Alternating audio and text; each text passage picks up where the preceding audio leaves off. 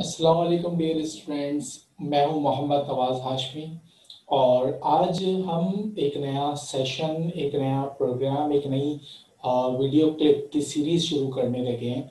अच्छा जी, हमारी जो वीडियो क्लिप है, वो C S S P M S और पी सी एस तीनों को कवर कर रही है और हमारा जो सब्जेक्ट है, वो पाकिस्तान अफेयर्स है। लेकिन जो आज मैं टॉपिक लेकर आया हूँ, वो सर सैद अहमद खान है अगर सिर्फ़ हम सी एस एस की बात करें तो सी एस एस में पोलिटिकल साइंस पेपर टू को भी कवर कर रहा है।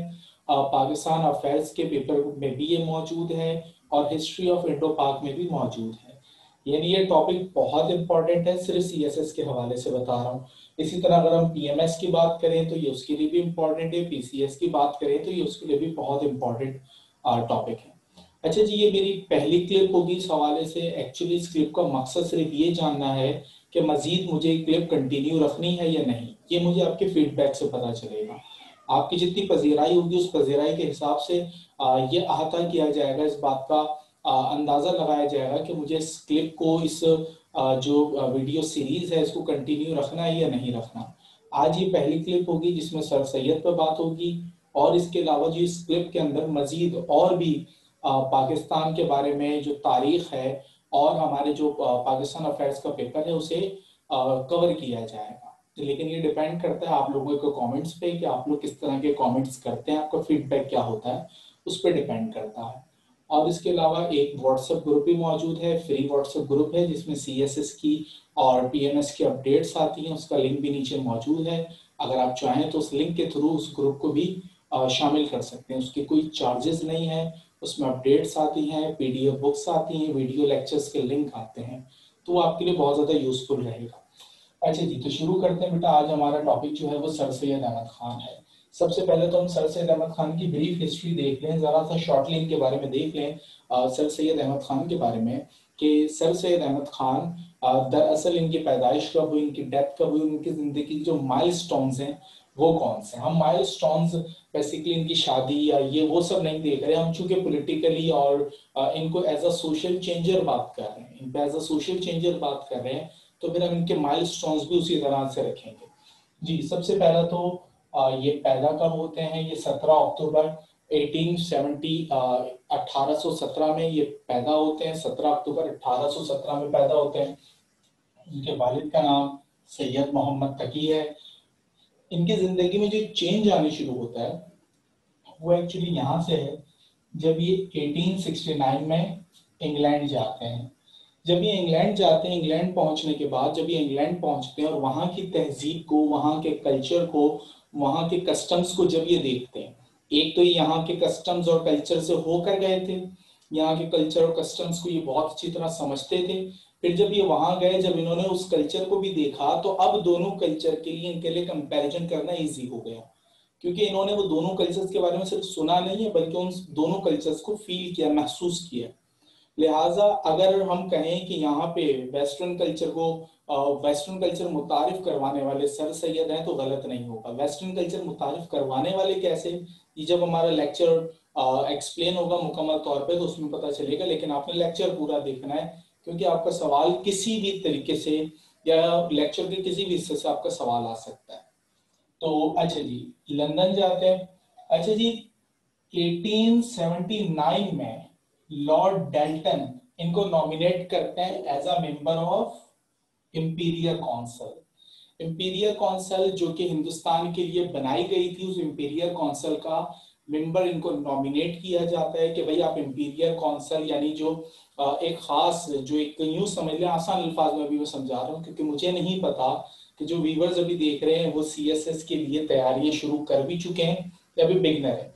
तो इसलिए मैं बहुत आसान अल्फाज में समझाऊँगा ताकि अगर वो बिगनर भी हैं तो उन्हें चीज़ें समझ आती रहे। अच्छा जी इंपीरियल काउंसिल आसान अल्फाज में ये समझें कि एक, एक ऐसी कमेटी थी जिसके ज़रिए हिंदुस्तान के फैसले करवाए जाते थे जिसमें हिंदुस्तान के लोग भी थे लेकिन ये वो लोग थे जिनको अंग्रेज़ हुकूमत अपॉइंट कर रही थी। तो इनको लॉर्ड डेल्टन ने लॉर्ड डेल्टन ने नॉमिनेट किया as a member of imperial council उसके बाद तकरीबन कोई नौ साल के बाद फिर लॉर्ड डिफरेंट आते हैं और इन्होंने सर सैयद को मेंबर बना दिया सिविल सर्विस कमीशन का। यानी जो सिविल सर्विसेज़ होंगे, उसके जो एक मेंबर जो एक कमेटी होती है उस कमेटी का मेंबर बनाया। ये एक बहुत बड़ी अचीवमेंट थी और इसके बाद 1898 में अलीगढ़ में सर सैयद का इंतकाल हो जाता है। ये सर सैयद की कुछ ब्रीफ हिस्ट्री है। अब इसके बाद हम चलते हैं सर सैयद की सर्विसेज़ पे चलते हैं। पहले ये देखते हैं सर सैयद की सर्विसेज़ कौन कौन सी थी और उन्होंने उन सर्विसेज़ यानी पहले कैटेगराइज देखते और फिर उनमें डीपली देखते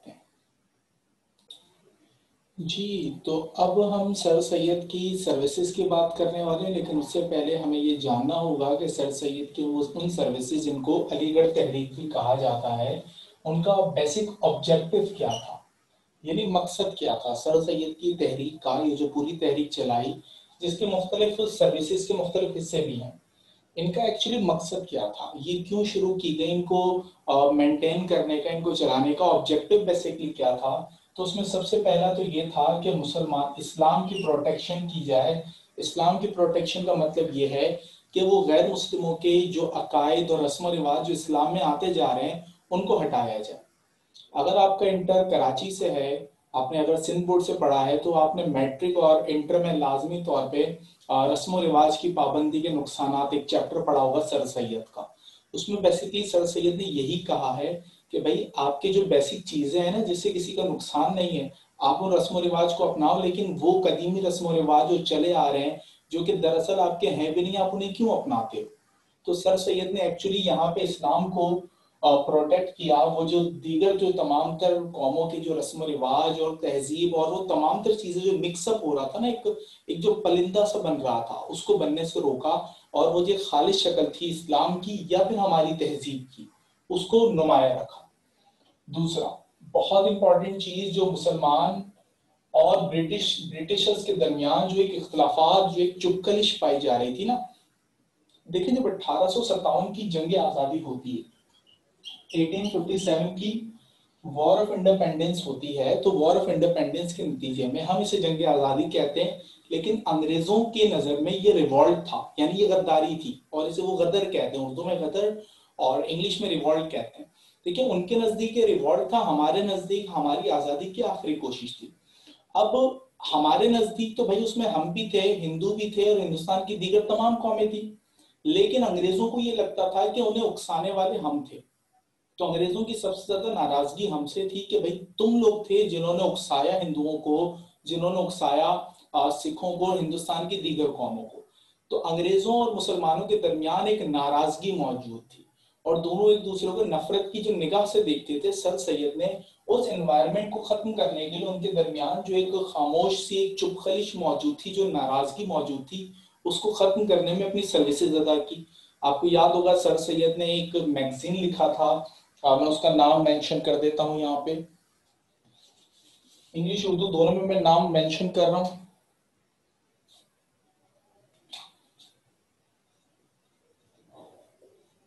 Causes of Indian revolt. Urdu में बोले तो असबाब बगावत हिंद अब याद आ गया होगा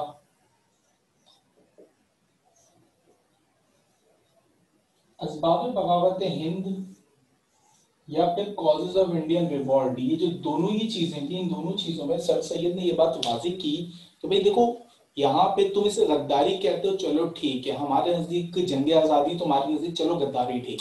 लेकिन अगर कोई इवेंट हुआ, कोई वाक्य, कोई हादसा हुआ तो उसके कुछ रीजंस भी तो होंगे। तुम हमसे पूछ रहे हो, ये क्यों हुआ? तुम भी तो बताओ, तुम्हारी तरफ़ से भी तो कोई चीज़ें होंगी। अब अंग्रेज़ों को ये क्लियर करने के लिए, ये जो, ये बेसिकली किताब नहीं थी, ये एक मैगजीन थी, ये एक मरासला आप कह सकते हो। तो इस मरासले में इस मैगजीन के थ्रू अंग्रेज़ों को क्लियर किया कि भाई देखो, अगर कुछ हमारी तरफ़ से था, अगर चलो सिक्सटी परसेंट हमारी तरफ़ से था फोर्टी परसेंट आपकी तरफ़ से भी था। कंडीशंस आपने ऐसी स्टार्ट की, ऐसी कंडीशंस को आपने बिल्ड कर दिया कि अब हिंदुस्तान के लोग, मुसलमान नहीं, हिंदुस्तान के लोगों के पास अब कोई चारा ही नहीं था। उनके पास अब कोई रास्ता ही नहीं बचा था। अब वो इतने उकता चुके थे और उकताए किसकी वजह से थे? आपकी जो पॉलिसीज़ थी, उससे उकताए थे।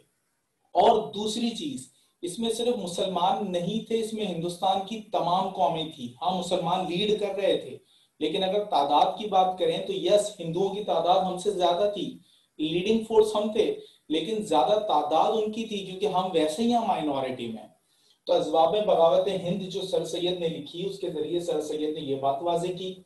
इसके बाद जो तीसरी सर सैयद की इस तहरीक के ज़रिए जो मकसद था ऑब्जेक्टिव था, वो ये था कि, यहाँ के लोगों की हारमनी जो है, यानी उनका जो मेल जोल है, आसान अल्फाज में समझा रहा हूँ मेल जोल जो है, वो मॉडर्न साइंस और फिलोसफी से भी जोड़ा जाए, क्योंकि यहाँ के लोग जो है, उन सारी चीज़ों में बहुत बहुत बहुत पीछे थे। व्हाट इज़ मॉडर्न साइंस इसकी सारी किताबें अंग्रेज़ी में। सारी किताबें अंग्रेज़ी में थी। हमारे पास जो किताबें थी, वो या तो उर्दू में थी, या फिर फारसी में थी, या फिर अरबी में थी। हमारे पास उन किताबों को समझने के लिए हम हम अंग्रेज़ी नहीं जानते थे। तो सर सैयद ने जो एक सर्विसेज़ है इनकी बात में एजुकेशनल उसमें इन्होंने क्या काम किया, उस पर भी बात कर रहे हैं, लेकिन सर सैयद की कोशिशें, जो मैं ऑब्जेक्टिव पे तो उनके ऑब्जेक्टिव में ये भी था कि मुसलमान मॉडर्न साइंसिस को और फिलोसफी को भी समझ सकें। इसके बाद सर सैयद रैशनल और इनलाइटेंड व्यू ऑफ़ लाइफ यानी ज़िंदगी के मुख्तलिफ़ व्यूज़ भी बताना चाह रहे थे कि भाई देखो, आसान अल्फाज में समझाता हूँ। भाई देखो, आप रेस में भाग रहे हो, सही है। आप अकेले रेस में भाग रहे हो और आप आ गए फ़र्स्ट तो ये फ़र्स्ट आना फ़र्स्ट नहीं होता, क्योंकि आप अकेले ही दौड़ रहे थे। जब आपके साथ दूसरे कॉम्पिटिटर्स होते हैं, तब आपको पता चलता है आपकी स्ट्रेंथ क्या है। आपने अब तक सिर्फ़ अपने आप को ही पढ़ा है, आपने अपने अकायद को पढ़ा है, आपने अपने मज़हब को पढ़ा है। जब आप दूसरे मज़हब को भी पढ़ते हो, दूसरे अकायद को पढ़ते हो, तब जब आप कंपैरिजन करते हो, तब आपको पता चल, पता चलता है कि आपका मज़हब इस्लाम कितना बेहतरीन है। हम लोग जो मुसलमान हैं, हम वो मुसलमान हैं जिन्हें बताया गया, भाई, तुम मुसलमान हो। हमने कहा, ठीक है। हमने दिल से कभी इस्लाम में रिसर्च नहीं की कि मैं बोलूँ हाँ मैं मुसलमान हूँ।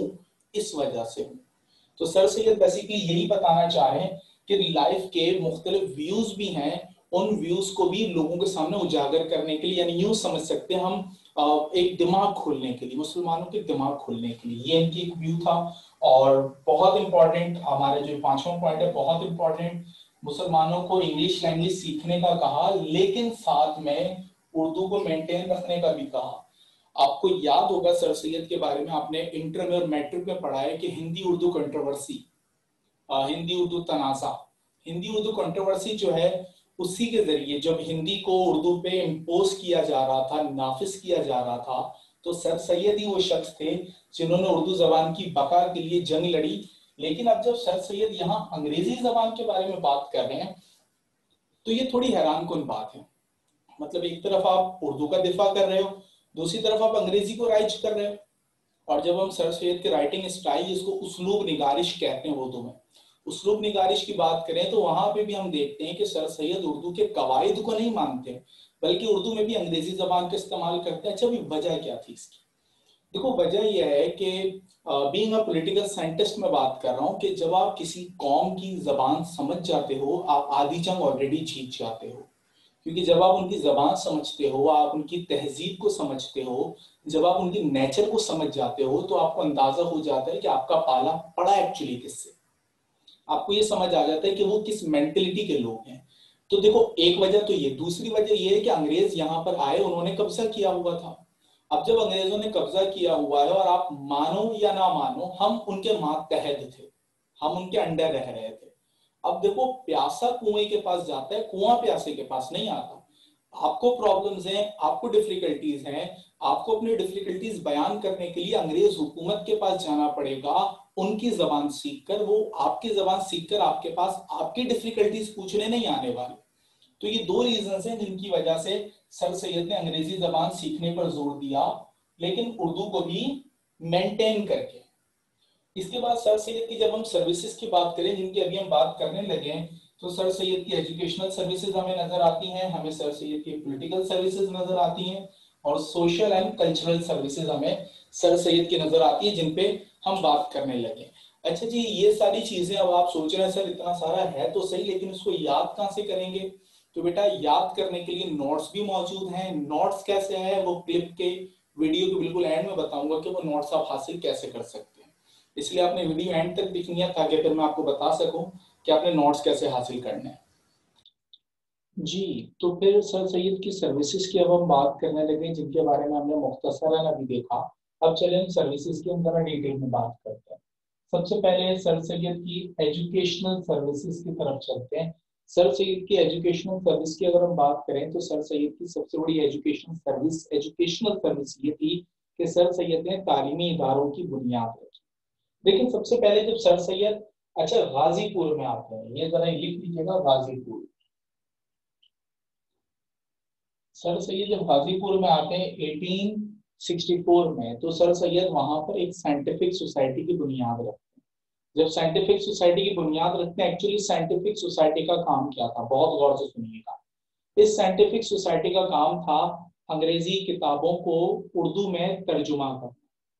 इससे होता यह था कि हिंदुस्तान के जो लोग थे क्योंकि वो अंग्रेज़ी जबान नहीं जानते थे, ताकि वो सीख सके। इससे पहले हमारी बात हुई थी ना कि हारमोनी मेंटेन करना मॉडर्न साइंस और फिलोसफी के दरमियान तो उसकी जो सर्विसेज़ थी, वो सर सैयद इस तरह ले रहे थे कि साइंटिफिक सोसाइटी के ज़रिए उन किताबों का तर्जुमा करवा रहे थे ट्रांसलेशन करवा रहे थे। और उस वक्त सर सैयद गाजीपुर में थे और गवर्नमेंट के अहदे पर थे। इसके बाद सर सैयद की दो साल के बाद पोस्टिंग अलीगढ़ में हो जाती। अब जब सर सैयद की पोस्टिंग गाजीपुर से अलीगढ़ में हो गई तो सर सैयद ने उस पूरी साइंटिफिक सोसाइटी को भी अपने साथ मूव करवा दिया लेकिन अब जब ये साइंटिफिक सोसाइटी गाजीपुर से अलीगढ़ में आई है, अब इसका नाम तब्दील हो गया।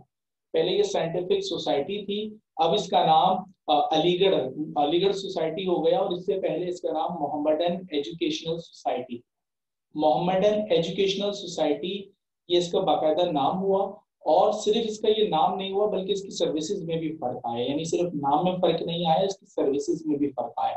अच्छा जी, वो सर्विसेज़ क्या हुई? उन सर्विसेज़ में एक काम तो वही था जो इससे पहले था कि प्रीवियस जो अंग्रेज़ी किताबें जो थी उनका उर्दू में तर्जुमा किया जाए, जो इससे पहले कर रहे थे। तो एक काम तो वो था, लेकिन अब इजाफी काम जो आया वो ये था कि मुसलमानों से फंडिंग जमा करते और उस फंडिंग से तालीमी इदारों की बुनियाद रखते।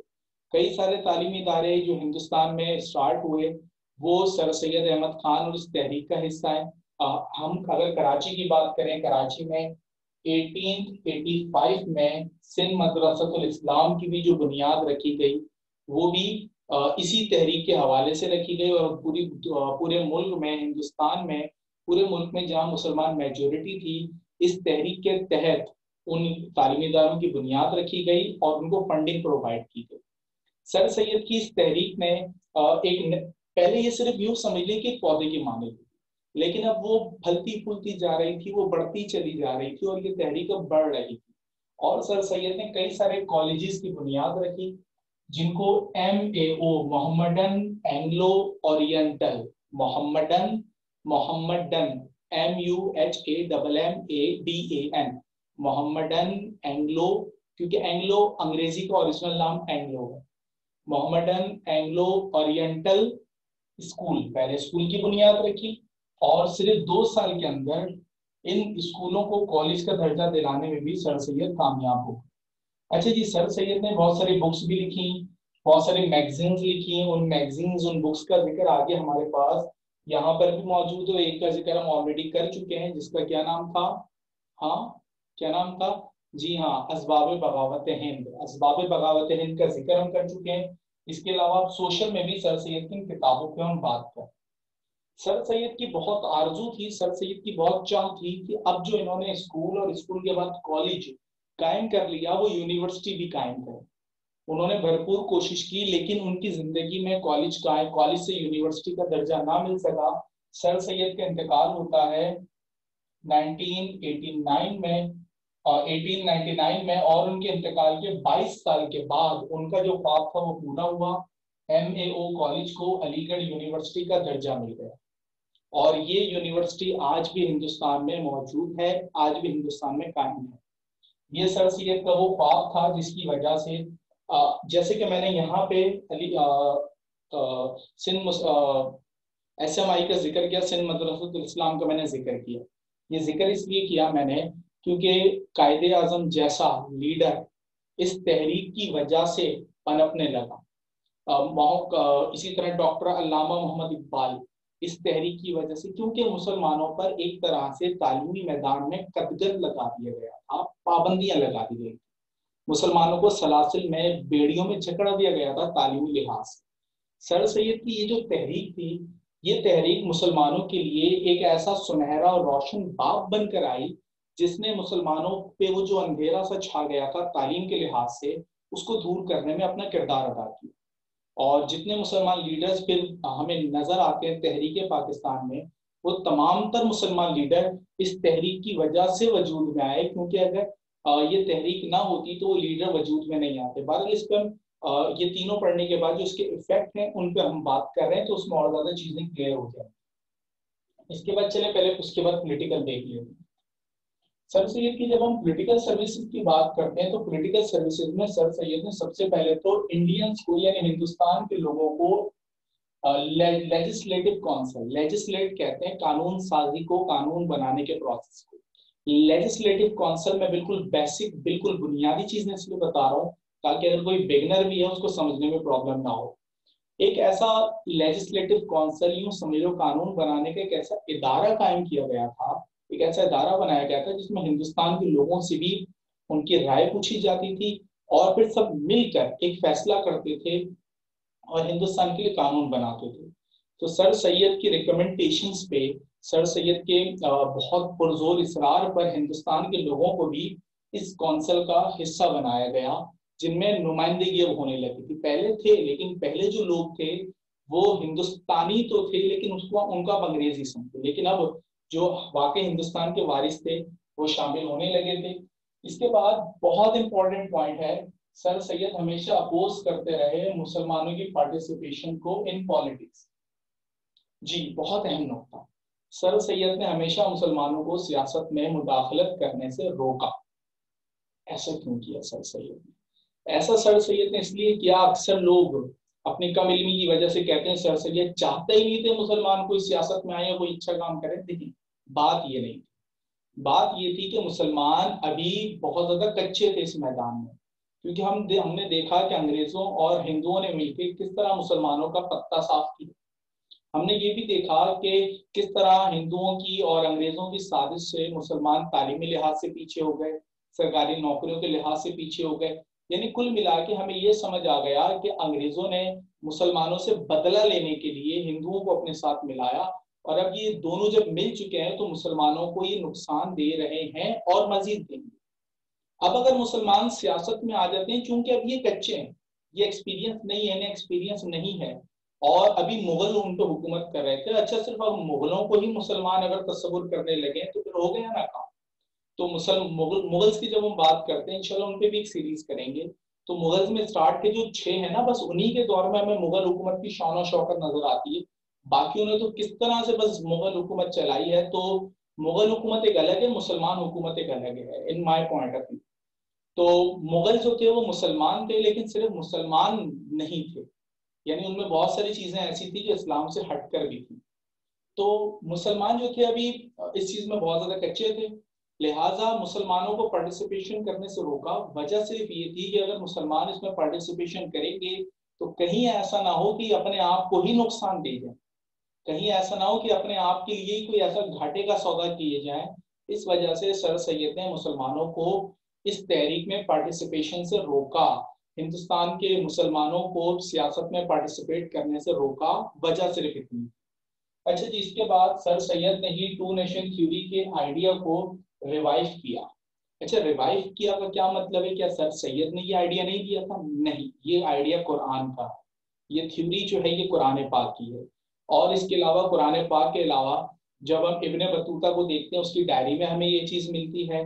और इसके अलावा अगर हम हज़रत मुजद अलफिसानी रहमत की तसानी को देखें तो उसमें हमें ये चीज़ मिलती है, सर सैयद ने चूँकि सर सैयद ने मुसलमानों के लिए पहली मरतबा कौम का वर्ड यूज़ किया है।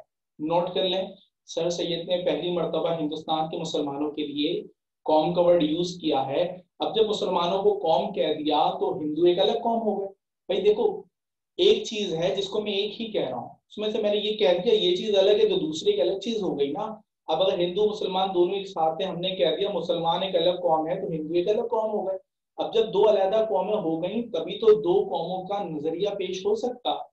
क्योंकि उससे पहले तो यही समझा जा रहा था, हिंदू मुसलमान एक हैं, लेकिन सर सैयद ने इस बात को वाजे किया कि हिंदू मुसलमान एक नहीं है, ये दोनों अलग अलग हैं, और टू नेशन थ्योरी पेश की। इसके अलावा, इसके बाद अगला पॉइंट जो हम ऑलरेडी पढ़ चुके हैं, कि हिंदू और मुसलमानों के दरमियान जो नफरत थी, उस नफरत को खत्म करने में भी सर सैयद ने अहम किरदार अदा किया। वो कैसे, मैंने असबाब बगावत की मिसाल देकर समझाया था। इसके बाद प्रोटेक्ट उर्दू। हिंदी उर्दू कंट्रोवर्सी हुई बनारस में एक इजलास के दौरान कांग्रेस ने यह ऐलान कर दिया। आ, नहीं बल्कि कांग्रेस मुझे याद नहीं कांग्रेस थी या नहीं मुझे एग्जैक्टली इसका एयर याद नहीं आ रहा। बहरल ये ऐलान हुआ कि भाई अब हिंदुस्तान में हिंदी चलेगी और आ, वैसे ही पहले ही फारसी पे भी पाबंदियाँ लगा दी गई थी। अरबी का भी कत्लेआम किया जा रहा था। अब जब उर्दू पर भी पाबंदी लगाने की बात की तो सर सैयद एक मर्द मुजाहिद की तरह उर्दू के दिफा के लिए सामने आते हैं और मुसलमानों से ये कहते हैं कि अगर तुमने उर्दू जबान को भी छोड़ दिया तो फिर तुम्हारे पास अपनी तारीख की अक्कासी करने के लिए कुछ भी बाकी नहीं रहेगा।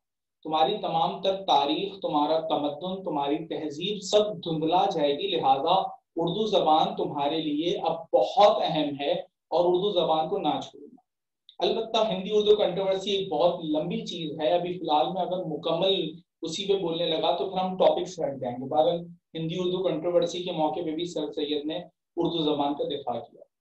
इसके बाद सर सैयद की सोशल एंड कल्चरल सर्विसेज़ की अगर हम बात करें तो सर सैयद ने, क्योंकि जैसे कि बताया, आप लंदन गए थे यूके गए इंग्लैंड गए, आप वहाँ पे ज़िंदगी गुजारी। आपने वहाँ की सिविलाइजेशन को वहाँ के कल्चर को बहुत अच्छी तरह देखा। और वो तमाम तर सिविलाइजेशन और वो तमाम तर कल्चर जो था आपने उसकी स्टडी की आपने उसका जायजा लिया और फिर हिंदुस्तान के कल्चर से उसको कम, उसका कंपैरिजन किया। अब जब हिंदुस्तान में आए हैं तो हिंदुस्तान में अब मुसलमानों को और हिंदुस्तान के लोगों को ये बता रहे हैं कि भाई देखो हम उनसे पीछे हैं हम वेस्टर्न कंट्री से पीछे हैं। हमारे पीछे होने का रीजन क्या है? भाई देखो, एक वेस्टर्न कंट्री हम पे हुकूमत कर रहा है। और दूसरा वेस्टर्न कंट्री यानी फ्रांस, दुनिया के कितने ममालिक पे कब्जा किए हुए, उस दौर में फ्रांस बहुत आगे था। तो इतने सारे ममालिक पे कब्जा किए हुए, बरतानिया हम पे हमला हम पे कब्जा किए हुए है, और फ्रांस दीगर कई ममालिक कब्जा किए हुए हैं तो ये वेस्टर्न कंट्रीज़ में ऐसा क्या है कि ये इतना ज़्यादा हावी हैं? तो सर सैयद ने उनकी नेशनलिज्म उनकी जो कौमियत का जो जज्बा था उसका बताया कि भाई इनमें जो कौमियत का जज्बा है वो कैसा है? इनकी नेचर कैसी है? हिंदुस्तान के लोगों को उससे इंस्पायर करने की कोशिश करवाई। दूसरा, सर सैयद ने तहजीब इखलाक के नाम से एक मैगजीन जो कि शाया होता रहता था, इसमें दरअसल जो सोशल इश्यूज़ थे, जो माशरती मसाइल थे, इसके ज़रिए उसको उजागर करवाया। ये बताया कि भाई सोशली तौर पे हमारे लोगों में, हमारी कौम में क्या इश्यूज़ हैं? हम किस तरह उन इश्यूज़ को सॉल्व कर सकते हैं? हम उन उन इश्यूज़ को किस तरह खत्म कर सकते हैं और हम एक अच्छी कौम, एक बेहतर कौम किस तरह बन सकते हैं? तो इसलिए तहजीबुल इखलाक, यानी हमारा जो इखलाक है, वो हमारी तहजीब की अक्कासी करता है, हमारी तारीख की अक्कासी करता है। इसके बाद preaching the western civilization western civilization यानी मगरबी तहजीब में वो कौन सी चीज़ें हैं जिसकी वजह से ये लोग ऊपर जा रहे हैं, ये लोग तरक्की कर रहे हैं।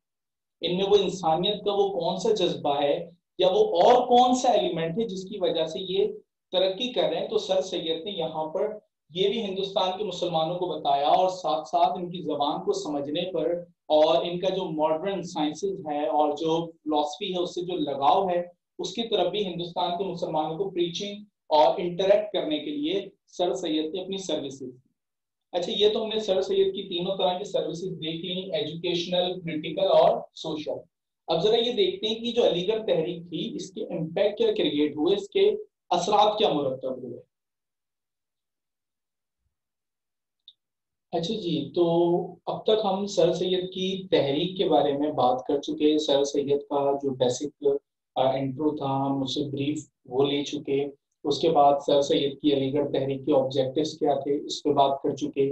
और अलीगढ़ तहरीक के जो मुख्तलिफ़ परस्पेक्टिव थे एजुकेशनल पॉइंट ऑफ़ व्यू था एजुकेशनल सर्विसेज़ पोलिटिकल सर्विसेज़ और सोशल सर्विसेज़ इनका जायजा ले चुके।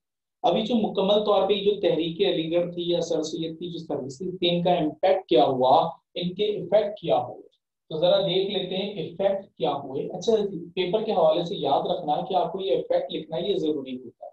और ये चीज़ मेरे हैंडआउट में भी मौजूद है और कंक्लूजन यानी उसका जो लबे लुबाव यानी क्या समझा आपने उसको, और उससे क्या समझा, वो चीज़ वो तमाम तर चीज़ें भी हैंड आउट में मौजूद है और हैंड आउट हासिल कैसे करना है, ये जैसे ही मैं आपको इफ़ेक्ट बता दूँ, फिर मैं आपको वो भी बता अच्छा जी, सबसे पहले तो डेवलपमेंट ऑफ़ वेस्टर्न एजुकेशन यानी वेस्टर्न एजुकेशन से यहाँ पे मतलब ये है कि अंग्रेज़ी सीखने का जो रुझान था मुसलमानों में वो बढ़ता रहा। सर सैद की सर्विसेज़ की वजह से मुसलमानों को ये क्लियर हो गया कि भाई अंग्रेज़ी सीखना कोई बुरी बात नहीं है।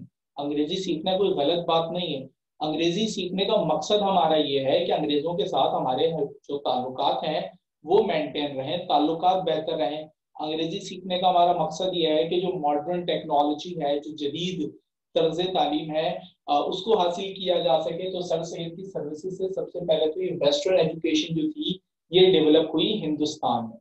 दूसरी अगर हम बात करें तो मुसलमानों में नेशनलिज्म का एक तस्वुर पैदा हुआ।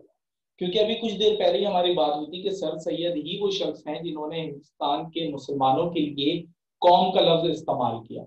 अब जब उन्होंने कौम का लफ्ज इस्तेमाल किया और फिर हिंदी उर्दू कंट्रोवर्सी आ गई तो अब ये मुसलमानों के जहन में ये बात क्लियर हो चुकी कि वो एक अलहदा कौम है।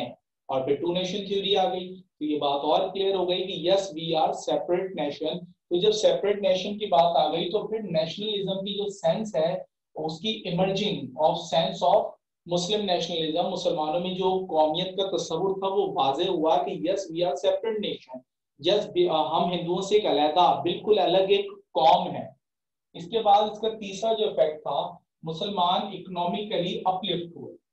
अच्छा इकोनॉमिकली अपलिफ्ट कैसे हुए? इकोनॉमिकली अपलिफ्ट ऐसे हुए कि अब अंग्रेज़ों के साथ उनके ताल्लुकात भी बेहतर होने लगे थे और सर सैयद की एजुकेशनल सर्विसेज़ की वजह से उनकी तालीमी मैदान में जो पस्ती, जो डाउनफॉल था, वो भी खत्म होने लगा था। मुसलमान अब कॉलेजेस में पढ़ के और तालीमी याफ्ता होके, अच्छी मुलाजमतों पे लगने लगे थे। तो ये तीन हो गए। चौथी चीज़ डेवलपमेंट ऑफ़ उर्दू, जिस तरह की बताया गया हिंदी उर्दू कंट्रोवर्सी के बारे में हमने बात की तो सर सैयद ही वो शख्स हैं जिन्होंने उर्दू अदब को बहुत ज़्यादा एक रुख बदल दिया उर्दू अदब का।